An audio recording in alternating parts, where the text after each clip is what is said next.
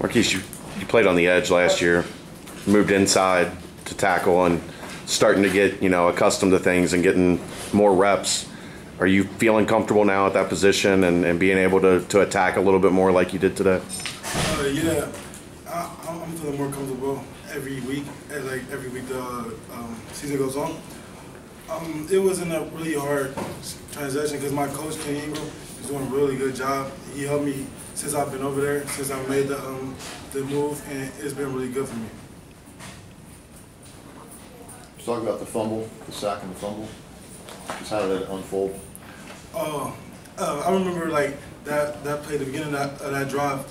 Um, my teammate Terrell Gilbert, Gilbert, he said, um, "We got to make some big plays this uh, this drive." And I was just thinking of that, and then I think it was third down, and then like I just knew it was about to be a a, a pass, so I just I rolled, like I just did a pass rush move, got past him, and then I seen the quarterback and and I just I just stabbed him. You're still smiling about it. yeah.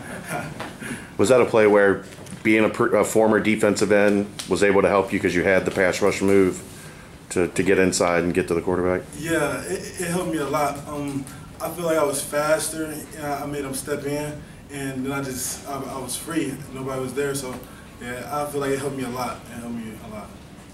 How meaningful is this win for you? Obviously, it's a long time rivalry. The Bell's still here, 11 straight year. How special is this one for you? This is special because I, I know some people on the on Miami of Ohio's team because I'm from Cleveland, Ohio.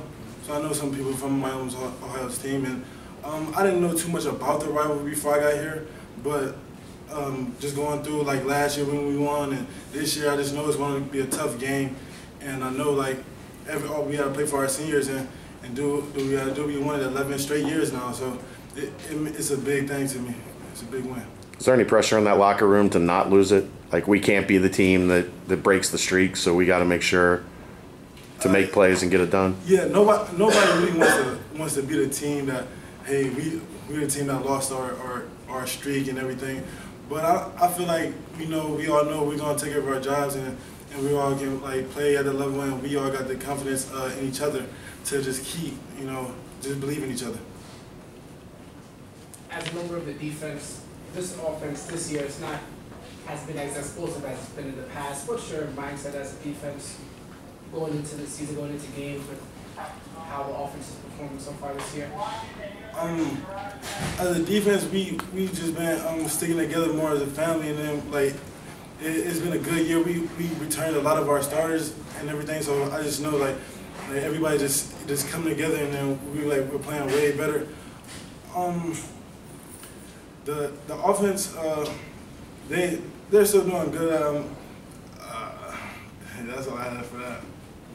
Does it feel awkward to like, you know, game by game, you might have to approach Hayden, you might have to approach Ross to kind of, because you don't know what quarterback you're going to kind of say, come on, cheer, you know, motivate, say a little.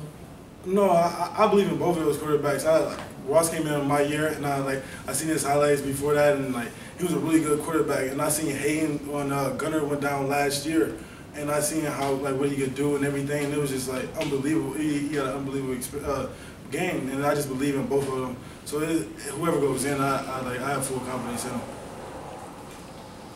Anything else? Thank you all. Thank you. Thank you, Marcus.